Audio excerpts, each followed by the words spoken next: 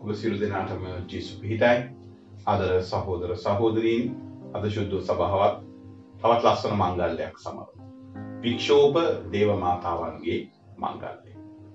ඊ දවසේ සැමරුවා ශ්‍රී කුරුසේ ජයග්‍රහණී මංගල්‍ය. මේ ලෝක මට්ටමින් ගත්තම මේ මංගල දෙකම පරස්පරයක් කොන්ට්‍රඩික්ෂන් එක. කුරුසේ ජයග්‍රහණය පරස්පරය. වික්ෂෝපයේ මංගල්‍ය නැත්නම් වික්ෂෝපයේ සතුට පරස්පරය. සමහර අපේ ජීවිතයේ තිබෙනවා තේරුම් ගන්න බැරි මේ වගේ පරස්පරයක් contradictions.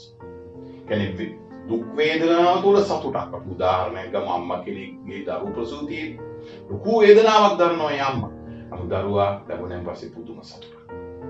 ක්‍රීඩා පරුවක් වෙන්නට උත්සාහ දරද්දි ගොඩාක් මහන්සි වෙන්නට ගොඩාක් පුහුණු වෙන්නට ඕනේ. දුක් විඳින්නට ඕනේ. ශරීරය පාලනය කරගන්න ඕනේ. හැබැයි ජයග්‍රහණය ලැබුවම ඒක සතුටක්. මේ ආකාරයෙන් ජීවිතයේ සමහර දේවල් තියෙනවා වේදනාව තුළ සතුටක් ගන්න. දේව අම්මා, දේව මෑණියෝ අද මංගල්‍යය තුළ අපිට මතක් කර දෙනවා වේදනාව තුළ සතුටක් විඳින්න. වේදනාව දිහා බලන හැටි අපගේ කෝණය බලන හැටි වෙනස් කරලා වේදනාව තුළ සතුටක් විඳින්න. ඒ වගේම දේව අම්මා අපත් එක්ක නිතරම ඉන්න අපේ සතුටේදී අපේ පරාජයේදී අපේ ජයග්‍රහණයේදී අපේ දුකේදී. අපි සාමාන්‍යයෙන් දන්නවා අම්ම කෙනෙක් දරුවෙක් කොහොම වෙලාවකට අතාරින්නේ නැහැ. ත්‍රීරෝධ රථවල යම් යම් දේවල් ලියලා තියෙනවා. ත්‍රීරෝධ රථ, ත්‍රීවිල් කුරුටුගී වගේ එක් තැනක කියලා තිබුණා ත්‍රීරෝධ රථ. ඒක අතේ සතේ නැති වුණත් අම්මා කියයි පුතේ. යාළුවා දැරලා ගියත් මුදල් හිඟ වෙනකොට බොහෝ දෙනෙක් මග හැරියත් අම්මා අතාරින්නේ නැහැ. මනුෂ්‍ය ලෝකේ දුර්වල අම්මලා එහෙමනම් දේව අම්මා කොහොමද?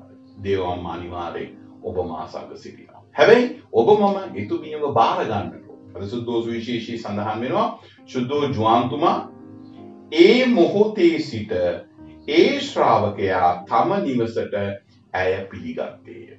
ජුවාන්තුමා ඒ මොහොතේ කියන්නේ කුරුසේ දේවම්මව බාර දුන්නු මොහොතේදී සිටම දේවම්මව පිළිගත්තා. අපි හලවනමු අපේ ජීවිතේ. ඔබේ මගේ හදවතට අපි දේවම්මව පිළිගෙන තිබෙනවා. අපේ හදවතේ දේවම්මට ඉඩක් තියෙනවා. අපේ පවුල තුළ අපේ ගම මීසම තුළ මා වැඩ කරන තැන ඉගෙන ගන්න තැන තුළ දේවමෑණියන්ට ඉඩක් තියෙනවද? දේවම්මව අපි පිළිගන්නවද? දේවම්මව පිළිගත්තොත් එතුමිය අනිවාර්යෙන් අපිත් එක්ක ඉන්නවා. අප සමග ඉන්නවා අප අතහරින්නේ නැහැ. අපේ දුකේදී වේදනාවේදී ගොඩාක් කිට්ටු වෙනවා. මොකද කුරුසියේ පාමුල හිටපු අම්මට වේදනාව හොඳට හුරුයි.